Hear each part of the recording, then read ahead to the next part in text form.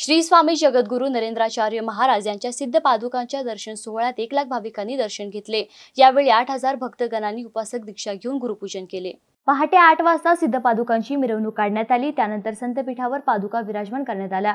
यावेळी गुरुपूजन करून जनम प्रवचनकार दिलीप कुमार सोमदे यांनी प्रवचन करून भाविकांना मंत्रामुग्ध केले. यावेळी माजी खासदार चंद्रकांत खेरे माजी आमदार सांडू पाटील बनकर प्रभाकर पालोदकर मंत्री जावेद शेख भाजपचे सुरेश बनकर ज्ञानेश्वर मोठे सुनील मिरकर नगरसेवक राजू दुतोंडे बबलू शेख बड्डू काळे सरपंच जाकीर भाई सय्यद योगेश शिंदे राहुल दामोदर आदींच्या हस्ते सामाजिक उपक्रमांतर्गत दुर्बल घटक पुनर्वसन अंतर्गत अठ्ठेचाळीस गरजू महिलांना संस्थानाच्या वतीने मोफत आधुनिक पीठगिरणी वितरण करण्यात आली. यावेळी मराठी उपपीठ प्रमुख गणेश मोरे सुभाष जोजारे मधुकर खैरे जिल्हा निरीक्षक संदीप थोरात साहेबराव आहेर तालुका अध्यक्ष संतोष धोड विकास जयवळ आदींनी या उपक्रमात पुढाकार घेतला. दरम्यान नरेंद्रचार्य संस्थानाच्या वतीने राबविण्यात आलेल्या उपक्रमांची चित्रफित दाखवण्यात आली.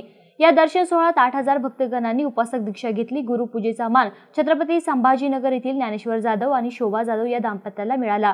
दरम्यान या दर्शन सोहळ्यासाठी सहाय्यक पोलीस निरीक्षक भरत मोरे यांच्या नेतृत्वाखाली दंगा काबू पथक सोयगाव अजिंठा फरदापूर पोलीस ठाण्याच्या कर्मचारी मैदानात तैनात करण्यात आले होते. Balasaheb Shinde MCN news Jarandi Soygaon.